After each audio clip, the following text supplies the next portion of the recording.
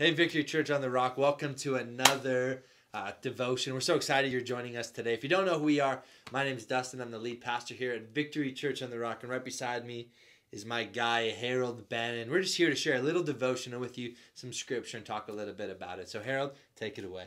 Hello, everybody. My name's Harold, and I'm reading from Psalm 86, starting at verse 8. There is none like you among the gods, O Lord nor are there any works like yours. All the nations you have made shall come and worship before you, O Lord, and shall glorify your name. For you are great and do wonderful things. You alone are God. Teach me your way, O Lord, that I may walk in your truth. Unite my heart to fear your name. I give thanks to you, O Lord my God, with my whole heart, and I will glorify your name forever. For the, for for for great is your steadfast love towards me. You have delivered me delivered my soul from the death of Sheol. And when I read that, I look at my own past history. He delivered me from the pit of pain. Wow. The pit of not feeling wanted, not feeling loved. Okay?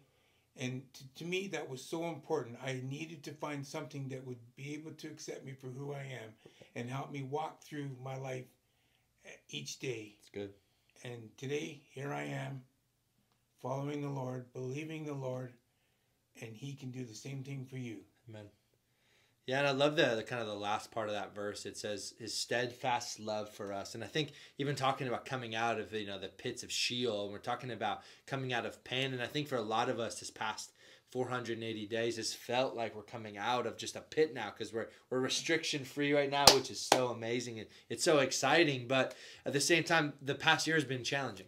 And it's so beautiful when we can step out of this place and we can be like, God, thank you for your steadfast love that you have for us. And just Amen pursuing that. that love, pursuing what God has for you and what God has for me is so important. I think this summer, let's do that.